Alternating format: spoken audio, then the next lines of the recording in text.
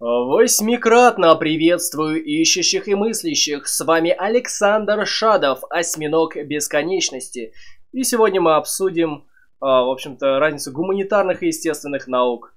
А вот у нас табличка гуманитарные науки и естественные науки. А, так вот, я полагаю, что естественное, техническое и гуманитарное знание имеют большое значение, но многие люди так не считают. В основном мы сталкиваемся с принижением гуманитарной сферы естественниками, а в итоге даже самими гуманитариями, которые воспринимают пропаганду естественников и повторяют за ними, что гуманитария ничего не значит. Она не научна, не объективна, бессмысленна.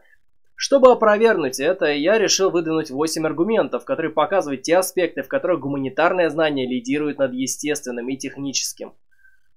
Эм, да, для начала все-таки где у меня несколько замечаний, потому что они важны. Во-первых, философия не есть гуманитарная, а во-вторых, не есть наука ни по методу, ни по предмету исследования. А, так, э, так что в это сравнение философия в целом не имеет никакого отношения. Ну, вот, вот Философия проходит здесь мимо. Философия не имеет никакого отношения ни к гуманитарным наукам, представленным в данной таблице, ни к естественным. А, к слову, то, что философия не является гуманитарной и не является наукой, я тоже много раз доказывал. Такс. А следующее замечание. Мы будем делать уклон в пользу доминирования гуманитарного знания, потому что польза знания технического для большинства пояснений не нуждается, а сами техники не клеймят свою работу бесполезной, как это делают гуманитарии. А мы будем обращать внимание на те сферы, в которых гуманитария определенно сильнее. Это будет такое определенно суперпредвзятое исследование в пользу гуманитарии. А, но следует заметить, что многие пункты покажутся вам странными, а, возможно, даже неверными, но мы попробуем это тоже обосновать, и в случае, если вам что-то кажется неверным, ну, не торопитесь как бы особо критиковать, кричать, все я могу дальше дообосновать, э, ну, провести дополнительное обоснование и проверки. Поехали. Первый пункт. А гуманитарное знание более универсальное для человечества, чем техническое и естественное. А техническое знание менее универсальное, чем гуманитарное. А заметим э, в первом пункте, в первой строке, гуманитарное знание более универсальное для человечества для человечества. Именно для человечества. Данный аспект касается человечества. Конечно, естественные, технические науки, ну, в частности, естественные, занимаются фундаментальными вопросами а, возникновения жизни, существования жизни, а также вопросами существования Вселенной, возникновения Вселенной, а также уничтожения Вселенной. Это очень универсальные вопросы, невероятно универсальные вопросы, которые практически не имеют никакого отношения к существованию человечества.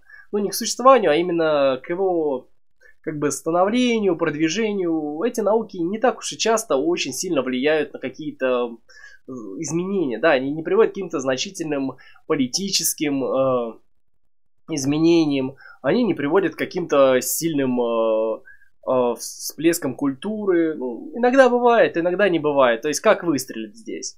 То есть очевидно, что гуманитарное знание более универсальное, чем техническое – ну, история, искусство, психология, общественные науки, которые считаются гуманитарными, касаются разных вопросов, многие из которых имеют отношение к существованию в целом, а, к степени моральности, а, к психологического комфорта, к душевному развитию и так далее. Гуманитария это то, что активно влияет на все человечество в течение всего его существования. Она влияет на политику, она влияет на искусство, она влияет на культуру. Естественные технические науки не могут похвастаться тем же самым. Да, действительно, влияние есть, особенно в последнее время влияние, до... влияние естественных наук, оно значительное, это бесспорно. Но влияние естественных наук на культуру, политику и прочее, прочее, прочее никогда не достигнет э, той, той же степени влияния, как и гуманитария. А, по сути, космос, например, космос. Да нам не важно, что происходит в космосе в целом. Ну, да, тратятся миллиарды, миллиарды на освоение космоса. Ну, какое это значение имеет для общества? Вот как непосредственно на вас повлияло освоение космоса? Но здесь можно понять большую разницу влияния непосредственно на общество гуманитарии действительно значительно выше, и с этим спорить ну, практически невозможно. Конечно, может быть, сами гуманитарные науки не так уж сильно влияют на общество, но предметы гуманитарных наук они именно общественные. Гуманитария изучает именно то, что есть человечество само по себе, то, что есть человек, чем он живет, какие у него, в общем-то, интересы, как он развивается и чего он хочет э, вообще-то от жизни.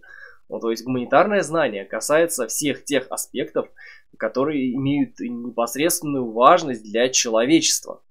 Естественные науки когда как.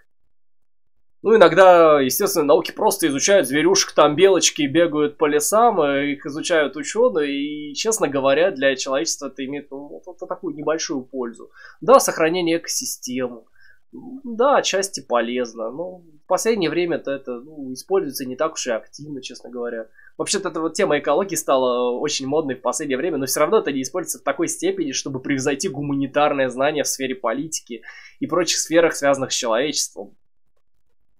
Да, технические устройства есть. Да, технические устройства отчасти много изменяют. Ну, да, действительно это так. Но степень-то все равно не та. Гуманитарные науки здесь доминируют. Доминируют, причем очень сильно. Следующий пункт. А, гуманитария всегда влияет на человека и общество. А технические и естественные науки не оказывают такого значительного повсеместного и постоянного влияния на общество, как гуманитарные. Вот, мы сначала коснулись универсальности гуманитарных наук для человечества, а потом перешли уже к более тонкому пункту, который включен в первый, конечно, включен в первый, да. Второй пункт, частный случай первого в данном случае, в данной ситуации, да. Так вот, гуманитария, она реально намного больше влияет на общество, чем, собственно, естественные науки и технические науки. Гуманитария действует на людей всегда именно вот здесь аспект всегда нужно захватываться в этом пункте. А, в прошлый раз мы рассматривали универсальность, а здесь мы рассматриваем временность. И также результаты деятельности технических наук носят временный характер именно. Ну, то есть гуманитария, там, этика, какие-то моральные наши взгляды, какие-то базовые произведения искусства, которые оказывают на нас постоянное влияние. Вот это то, что происходит с человеком всегда. Человек всегда там смотрит кино, читает книги, газеты и все-все-все вот это вот он делает постоянно. А вот технические устройства или медицина нужны ему иногда. Я заболел, мне нужна медицина. Я хочу доехать куда-то, мне нужна машина. Только, только у некоторых людей ну, какие-то перекосы в техническую сферу значительно больше, чем в гуманитарную. И это далеко не все люди в действительности. То есть человек на протяжении всей жизни является частью той или иной культуры, с теми или иными моральными ценностями, с теми или иными ценностями вообще. Все это сфера гуманитарного. А технические же устройства используются вот совершенно не всегда. Гуманитария более обширно захватывает общество, чем техника и практика. И иначе быть просто не может. Лишь в последние годы техника начала догонять гуманитарную сферу по этому параметру. Но это очевидно гонка Ахиллеса и черепахи. Мы, кстати, потом еще впоследствии обсудим, почему компьютер-то, собственно, важен. Он нам важен, потому что это техническое устройство или потому что он производит э, расчеты какие-то арифметические, полезные для науки. Нет, компьютер нам нужен, потому что это машина, помогающая нам в гуманитарных целях. А писать книги, картины и так далее, и так далее, и так далее. Но об этом попозже чуть-чуть. Сейчас будет пункт, от которого бомбанут практически все представители естественных и технических наук.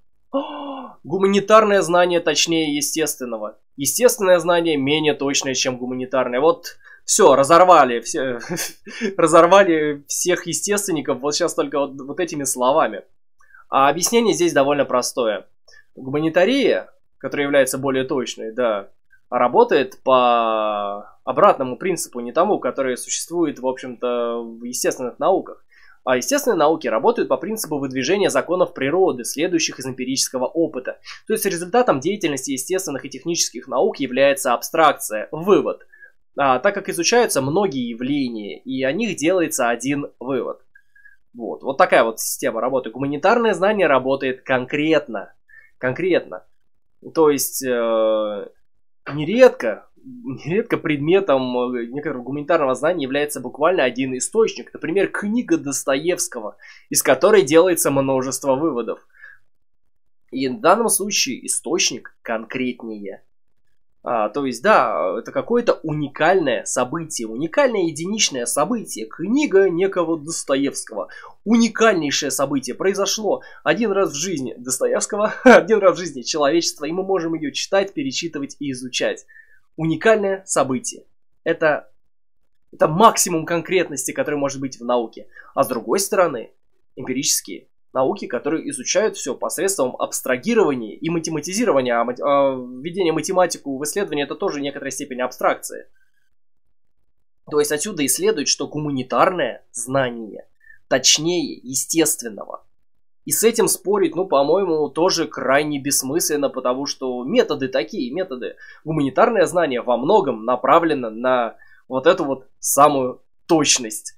А, уникальность именно на изучение уникальных событий, уникальных вещей. История изучает уникальные события какие-то, причем языком непосредственно, которым эти события были описаны. Ну, а, да, это мы тоже обсудим чуть позже. Естественное знание, оно менее точное именно за счет того, что оно использует постоянно абстрагирование.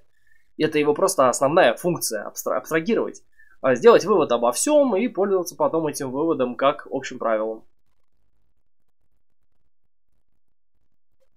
Из этого, кстати, следует, что гуманитарные науки более объективны, чем естественные. И сейчас тоже у всех бомбанет, потому что, ну, обычно говорят, нет, нет, естественные науки объективны. Нет, гуманитарные науки более объективны, чем естественные, потому что у них, у них более точное знание – их знание больше соответствует предмету исследования. Ну, то есть, у нас есть текст Достоевского. Достоевский там написал, не знаю, любую фразу, абсолютно любую фразу. Там, про слезинку ребенка он написал. Мы знаем, что это написал Достоевский. Точно. А, мы знаем, что это те, эта фраза есть в данном тексте. Точно. И мы можем апеллировать к этой фразе в данном тексте. Абсолютно точно в гуманитар, в естественном знании ничего подобного нет. Нет никакой книги, в которой на нашем языке, а, непосредственно на нашем, или на языке, который мы можем абсолютно точно перевести на наш язык, излагаются какие-то вещи, которые мы можем воспринимать так, как они излагаются. В естественных науках, собственно, сам ученый и есть переводчик. Переводчик книги, так скажем, природы. А книга природы, она дана нам без перевода, к сожалению. И ученый уже сам ломает голову, как воспринимать те или иные факты и как соотносить их с другими фактами. Довольно тяжело. Довольно тяжело, и самое главное, что менее объективно, чем в гуманитарном знании. Ну, к сожалению, вот это вот просто так. К сожалению, с этим придется смириться многим ученым. Они думали, что вот, вот, естественные науки абсолютно точны, абсолютно, в общем-то, объективны, но гуманитарное знание более соответствует своему объекту, потому что объект уникален, и этот объект изучается многогранно и многократно.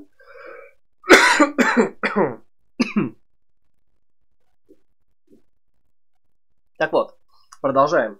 Гуманитарное знание по частным вопросам чаще всего является бесспорным. А естественное знание всегда является в некоторой степени спорным, так как любой научный факт включает в себя элементы интерпретации. Здесь тоже все понятно. Многие гуманитарные факты, например, Достоевский писал «что?». Это просто цитаты. Они бесспорные. Ну, то есть, Ницше в книжке «Веселая наука» высказал такие идеи. Раз афоризм, два афоризм, три афоризм. Цитаты.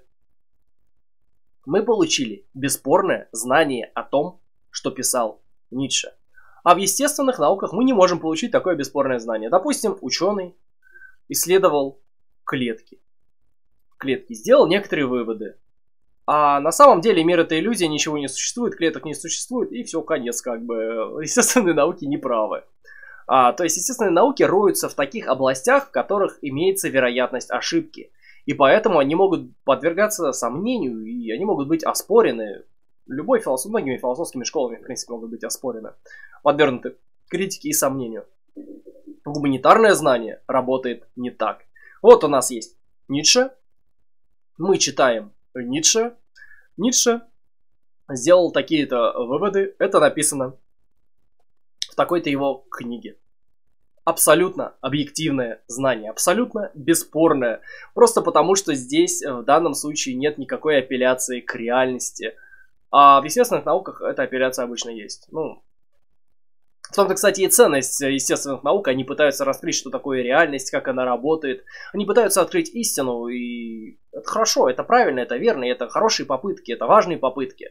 Но просто в гуманитарном знании, даже если мы не пытаемся открыть абсолютную истину этого мира или какие-то частную истину каких-то событий, нет, мы просто пытаемся посмотреть в текст. Мы открываем глазища наши, смотрим в текст Ницше, читаем текст Ницше, и берем цитаты оттуда, и вот там уже есть некоторые истины гуманитарного знания, которые бесспорны. И некоторые такие истины, ну, их, их много, их просто в гуманитарном знании очень много.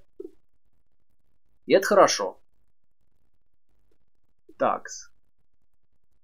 И на чем это вообще основано? Просто гуманитарное знание, оно более человечно. Нас не интересует, что происходит на самом деле в природе, нас не интересует, как на самом деле устроен мир. Естественно, науки это, этим интересуются. Гуманитарное знание интересуется тем, что думали об этом люди, например. Например, Ницше думал, что мир устроен вот так. Неважно, устроен ли мир так. Для естественного ученого это важно. А для гуманитария неважно. Вот и получается, что Ницше исследовать куда проще, чем реальный мир. Куда проще исследовать Достоевского, чем реальный мир. И поэтому значительная часть истин, которые мы используем внутри гуманитарного знания, они более основательные и более бесспорные, чем истины, которые используются в естественно-научном дискурсе. Ну, к сожалению, просто потому, что так сложилось, просто потому, что метод, а, метод, который сообразуется с нашим языком, метод, который сообразуется с человечеством, вообще с культурой, это метод гуманитарных наук. Методы естественных наук, они другие. Они другие, и у них значительно более амбициозные цели. Поэтому так и получается, что есть некоторые положения в гуманитарных науках, которые, в принципе, бесспорны. Да. Так. Гуманитария говорит на человеческом языке, но это вытекает из прошлого пункта, и нередко в этом языке заключен предмет и метод исследования. Хм, а естественные науки и технические опираются на математику, которая далека до большинства людей. А математика, ну, собственно, не есть то, что она описывает. Тоже очевидные, да, пункты непосредственно. У нас есть, с одной стороны, гуманитарное знание, которое пользуется языком, которое даже иногда изучает язык методами самого языка. И у нас вот такое получается знание. Знание более точное, более объективное, в том плане, что человек изучает человеческое. Это близко человеку, это может быть выражено на его языке, его понятиями, его догмами. Нам неизвестно, может ли знание о природе быть выражено на человеческом языке. Но ученые считают, что можно. Ученые также считают, что это можно э, выразить через математику. Ну, допустим, конечно, но это не точно, правда сожалению, это не точно, так как математика не является тем, что она описывает. Вот, например, у меня есть ручка в руке, вот ручка. Как математика ее опишет? Точку поставит оси и будет вращать палочку. Вот эта палочка не есть ручка. А ось не есть мои пальцы, которые держат эту ручку. И точность научного познания в данном случае, она вот опять же страдает. Несмотря на то, что все это может быть описано тысячи формул, что там, может, реликтовые лучи могут проходить через эту ручку. Неважно совершенно. Все это абстракции. Они менее точны, чем то, чем манипулирует обычно гуманитарное знание. Но, к сожалению, это точно так. И, к сожалению, по-другому познавать мир ученые, ну, в принципе, не умеют. И э, метод познания мира учеными один из самых лучших просто из предложенных. Ну, вот поэтому вот так вот. Вот так вот сложилось, и это нормально это нормально, но просто вот такая вот разница есть. Это не то, чтобы большая критика естественного знания, но просто вот так вот сложилось. Продолжаем. То еще один похожий пункт. Предметы гуманитарных наук ближе людям, а предметы технических и естественных наук более специальные и далеки от обывателя. Опять же, к сожалению, это так. Это так, потому что люди, люди смотрят фильмы. А люди смотрят, не знаю, сериалы. Люди читают книги. Люди читают газеты, людям очень близко что-то гуманитарное. Просто потому что гуманитария изучает людей. Поэтому все гуманитарное людям и близко. А вот какие-то звезды, какие-то планеты, движение каких-то космических тел, взрывы каких-то сверхновых, это интерес довольно-таки небольшой прослойки людей. И ладно, ну ладно, звезды, звезды, ну динозаврики, там какие-то книжки модные, можно про это прочитать. Но разбираться в этих науках непосредственно самому, это довольно трудно. Это довольно трудно. И каждая наука естественного цикла, она требует очень большого количества временных ресурсов. А также нужно зубрить математику нередко. Особенно в технических, физических областях. Просто математику нужно зубрить. Это очень сложная математика, а, которой большинство, подавляющее, колоссальное большинство людей не имеет никакого отношения. И люди просто не поймут то, что говорят вот специалисты в этих областях. А, отсюда и получается, что гуманитария, она ближе людям, чем технические естественные науки. Вот так вот так вот получается, так вот и есть на самом деле, к сожалению. И к счастью, не знаю. Так вот, продолжаем дальше. Гуманитарные науки более полезны в повседневной жизни. Они пронзают всю эту современную жизнь, являются неотъемлемой частью досуга и образования. Ну, во многом это повторение того, что было сказано, а во многом и дополнение. А технические естественные науки менее полезны в повседневной жизни, даже с учетом важнейших сфер, производящих технические устройства и создающих медицинские услуги. Опять же, это было раскрыто несколько ранее, но мы сейчас дополнительно выделим. Гуманитарные науки более полезны. Так почему же они более полезны? А, заметим, что большинству людей в мире, подавляющему большинству людей в мире, никогда в жизни не понадобится математика уровня выше шестого класса. Ну, только если для сдачи каких-то зачетов и экзаменов. Тоже можно сказать про физику и биологию. В повседневной жизни они не имеют той пользы, которую имеет гуманитария. Естественное и техническое знание крайне специальное и специфическое. Да, мы имеем множество прекрасных технических устройств и прочих благ, которые явились следствием развития технической сферы. А, самым ценным изобретением и самым полезным определенно является компьютер. Но из-за чего компьютер такой ценный? Из-за того, что он может что-то там считать? Из-за того, что он может рассчитать траекторию полета ракеты? Из-за того, что он может рассчитать траекторию полета кометы? Из-за того, что он может э, в точках изобразить положение звезд? Нет. Основная ценность компьютера заключается в том, что это инструмент гуманитарии. Вы не поверите, компьютер колоссально гуманитарен. А, на нем можно рисовать картины, можно писать книги, можно обрабатывать фотографии, можно писать статьи, можно хранить и распространять произведения искусства. А, и все это занимает значительную часть жизни большинства людей. И именно поэтому компьютеры так важны так популярны и так полезны только за счет того, что они максимально гуманитарны.